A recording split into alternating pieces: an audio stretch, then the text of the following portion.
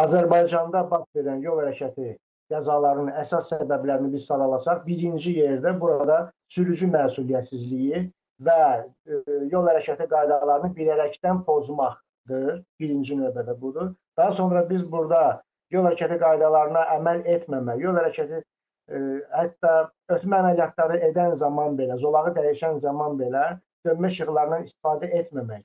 Daha sonra ə, axşam saatlarında ə, avtomobilin işıqlarının, faralarının yandırılmaması da hətta burada biz müşahidə edirik. Halbuki bunlar da ə, kobud qanun pozuntularıdır və xüsusən də qeyd etmək lazımdır ki, bu gün ə, Azərbaycandakı sürücülər arasında yeni bir dəb yaranıb.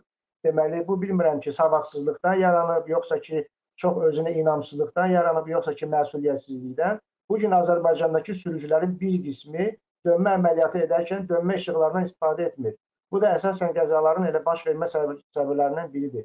Daha sonra sürücülərin e, alkoqollu içki qəbul edib sürməsi, yuxulu halda olması, yorğun halda olaraq avtomobil idarə etməsi də qəzaların baş verməsinin əsas səbəblərindən biridir.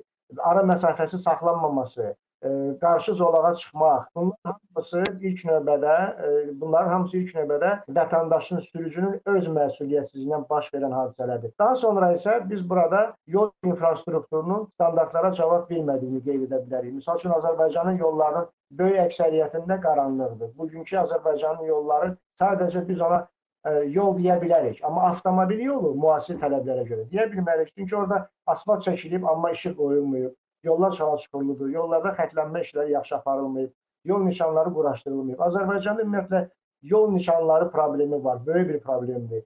Azərbaycanda qadağan edici nişanlar çoxdur, hansı ki sürücünü cərimə edə bilər. Amma məlumat verən və xəbərdar edici nişanlar azdır. Bu nədən irəli gəlir? Bu da bu, bu da bir sualdır. Və daha sonra niyə görə dönmə əməliyyatı e, dönmə əməliyyatı edən zaman e, deməli dönmə işığını yandırmayan sürücülər niyə görə e, cərimələnmir? 40 manat cərimələnməlidirlər. Mən bu cərimələrin şahidi olmamışam.